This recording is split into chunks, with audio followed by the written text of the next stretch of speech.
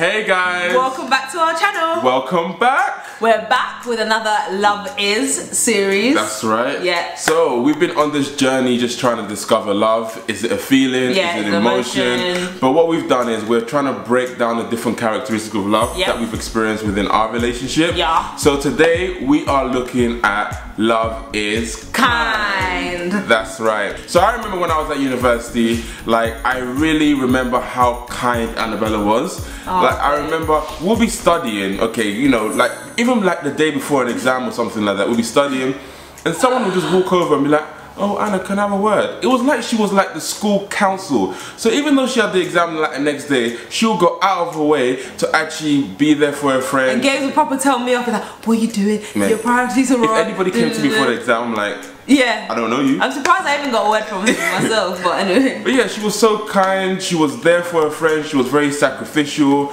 and I just saw this across her whole life. Like she loved her missionary trips. Annabella was always so optimistic, she never spoke a bad word about anybody. She was always encouraging and always spoke um, the best of people. And I just thought, wow, like, you know, go get me some of that, you know? like I was like, this girl is too kind to let go.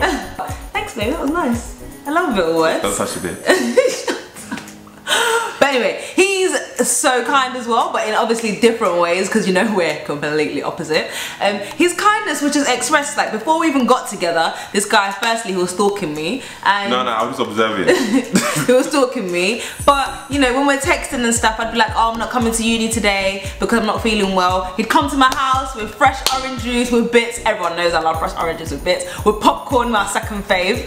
Um, actually, joint first fave. Anyway, but um, it was just so nice. He'd come, drop it off, and then he'd go. Like there was no expectation for anything. He didn't want to hang around. It was just like, "I've dropped this stuff off for you and get well soon." He'd be checking up on me. He always walks on the outside of the road. He'd always pay for stuff. Like I was just like, "Is this guy real?" And obviously, having been in like you know, difficult relationships in the past, meeting Gabes and noticing that someone's actually so kind from the heart, yeah, that just really showed me that Gabes was a kind person. And sometimes we really do take kindness for granted. We don't realize how important it is. Yeah, you actually have to be able to distinguish between kindness and charm. Oh, yeah. Kindness actually comes from the heart, whereas charm is like the power or the ability to kind of lure someone in. So it's almost like someone is wearing a mask from at the beginning just to get you in, and then they reveal the mask, and boy. Mm.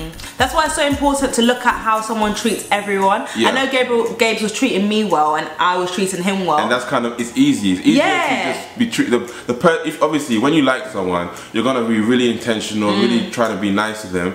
But what is also important is looking at how they treat other people, Yeah. how they treat their family, Yeah. how they treat their friends, how they even treat people who don't actually even owe them anything. Yeah. Are they still as kind to them as they are to you? Mm. That's what that's how you see whether the person has a kind heart or whether they're just trying to be charming Yeah. just to get you um, to be their partner. Yeah, because in a relationship you can be very blind. Love is blind. Well. like seriously, like, I think Gabe's the most amazing guy. No, that's true though. Isn't yeah, it? yeah, no, you actually are the most amazing Yeah, guy. thanks. but then, obviously, from the outside, people be, you know, seeing different things in your partner, but you just don't see that. You're just like, no, he's amazing. You just get defensive. So before you even get with someone, you need to observe how they treat other people, how they treat their family, friends, Yeah. people that they know and don't know. So now I understand why Gabe was actually stalking me because Yeah. because imagine like Yeah. If the person's um, personality is not consistent. Oh, like you know, imagine you actually don't know who you have. Mm. You could have them really nice to you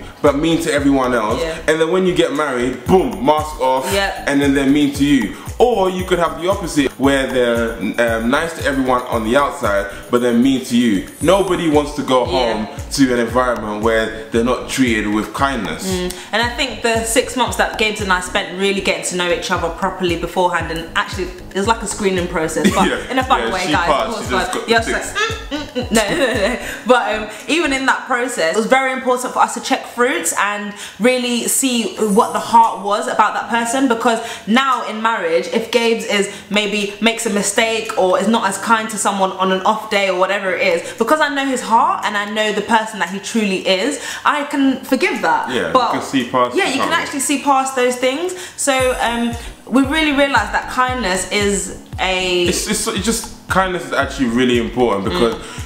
You want to go home to an environment that is safe. You Yeah. know that the person who's with you is kind, mm. and it just makes the household a lot more fun. Imagine if you're on edge because you just don't know when the person's gonna just jump Yeah. on you. Yeah. Like it actually changes the dynamics of the household a lot. Yeah. So we just wanted to talk about love. It was a quick one, this one, because we all know what kindness means. But sometimes when we're um, looking for a relationship, we start forgetting Yeah. what kindness truly is. And kindness is really just being sacrificial, being able to think about others over yourself, and just um, loving people from the inside out. Yeah. And I think that's something that we really need to take more seriously as human beings, and really just try to be a kind person because Yeah, in your relationships, it will overflow into that. It will overflow into everything that you do. Yeah, so rather than looking for the biggest flirt who's really nice to you, whisper sweet nothing Mm. in your ears, the girl who's trying to finesse you because she wants to jump in your car That's or so for you to buy her um, two pound chicken and chips. Yeah. Like just be just remember to look at the heart of the person to really see whether they're kind. Mm. So yeah, guys, we just wanted to talk about love. A characteristic of love being kindness. yeah, kindness. And um, yeah, we're gonna continue on with this Love Is series. So we'll see you at our next video. Peace! Bye.